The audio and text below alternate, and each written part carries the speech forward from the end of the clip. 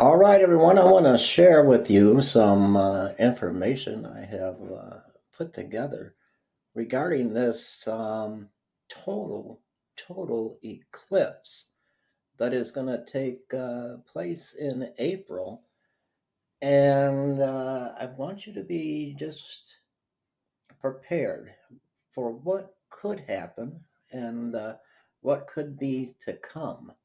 Now, I find it odd that uh, we know uh, the precautions with the a full solar eclipse uh, don't look directly into the sun and uh, the harm they can do um, to you physically. But why are they putting out tips for the total eclipse?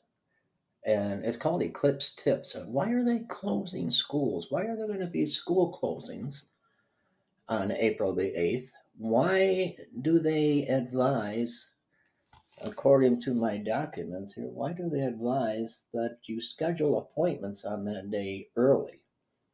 Keep cash on hand. They want you to keep some extra cash on hand on the day of the eclipse. Fill up your cars, your vehicles with gas.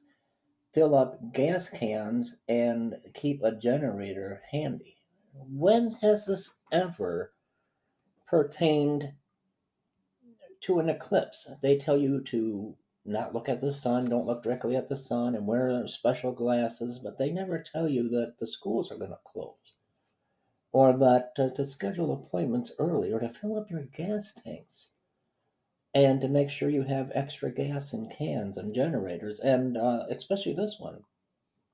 Expect heavy traffic long lines at service stations.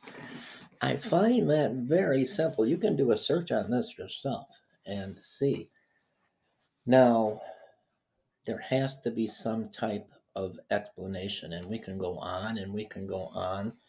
But when we're looking at, let me see if I can pull any of this up for you here. I find it just uh, very interesting. Bear with me for a minute. It's so difficult to do this.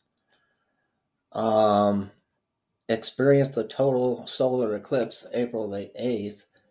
Let me see if I can pull this up. Bear with me for just a moment.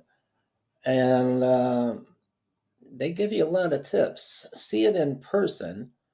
Join us for Eclipse Orama uh, 2024, our two day festival in Texas featuring music science, lodging, and more for a for for a total eclipse.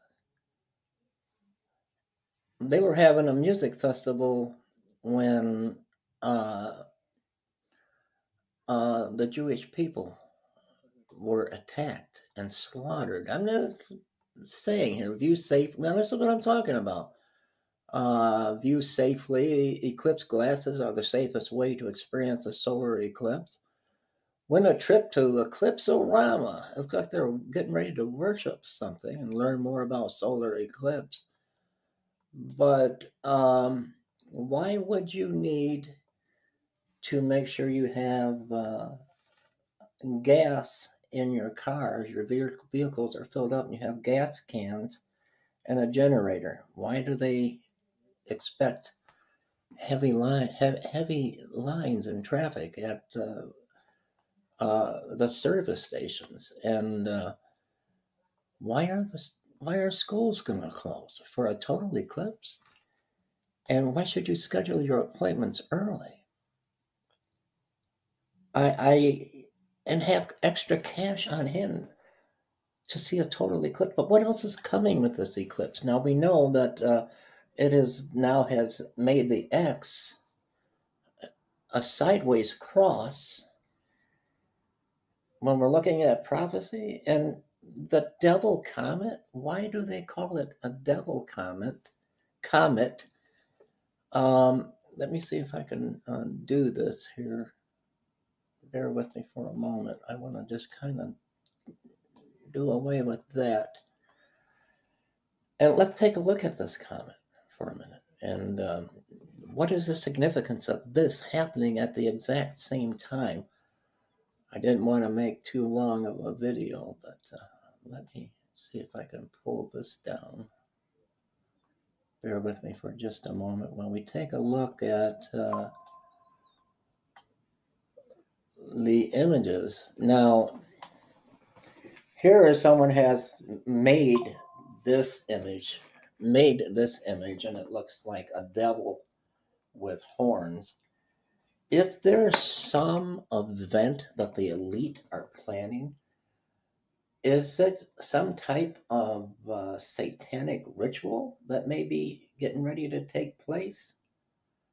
Or is it a devil uh, comet at all? Look at here, as you see, it, it appears to have wings.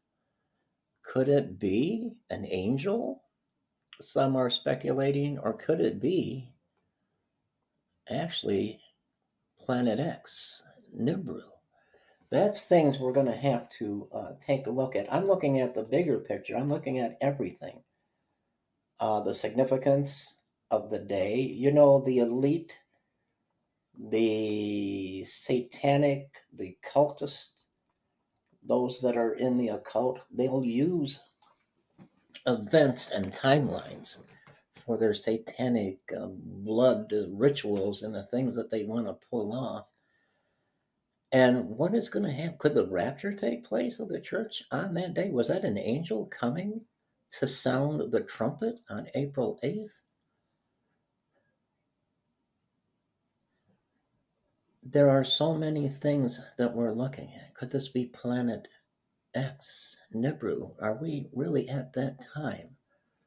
Some things to look at. Is that a devil-horned planet or is that an angel? Or is it planet X?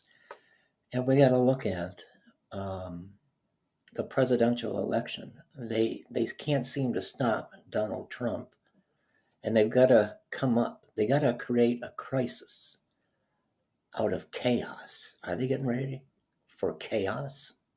Is the world going to see chaos on April the 8th? Stay tuned. I'm still checking into this. Leave me comments, please.